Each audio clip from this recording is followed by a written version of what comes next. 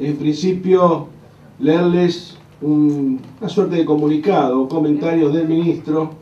en relación a la concentración monopólica que a juicio del Ejecutivo Nacional existe por parte de la empresa Telefónica de España y Telecom Italia y Telecom Internacional en la compañía Telecom Argentina.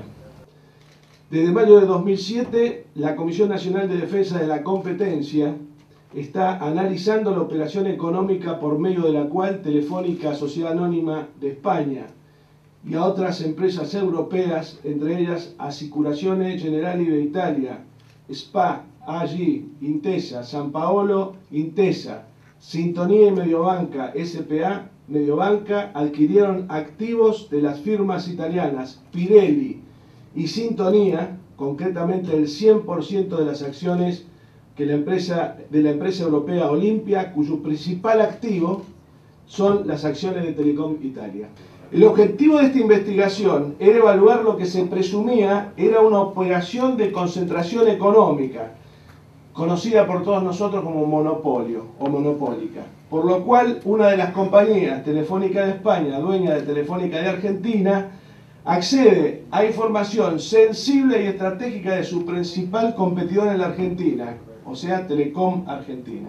Es importante recordar que Telecom Argentina Sociedad Anónima y Telefónica de Argentina Sociedad Anónima son las dos principales empresas de telefonía fija de la Argentina, siendo propietarias de operadoras del mercado de telefonía celular y es de extrema gravedad que una de ellas pueda en forma actual o potencial gravitar sobre las acciones y decisiones que tome la otra. A mediados de la semana pasada, el 13 de enero, el 13 de enero, estas empresas presentaron sendos recursos contra la imposición de pauta de la desinversión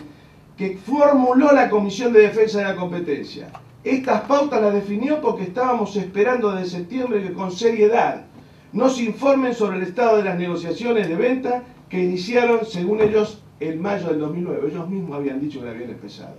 Y nos encontramos con un escrito de apelación ofensivo, agraviante, sin fundamento jurídico alguno. Quiero señalar que desde el Poder Ejecutivo Nacional vamos a seguir actuando en el marco de la ley y ejerciendo la responsabilidad de gobernar y que contra los monopolios y contra todos sus condicionamientos y presiones que se pretenden ejercer sobre la justicia, para que excediendo su competencia avance sobre los actos de gobierno. Nosotros recurriremos,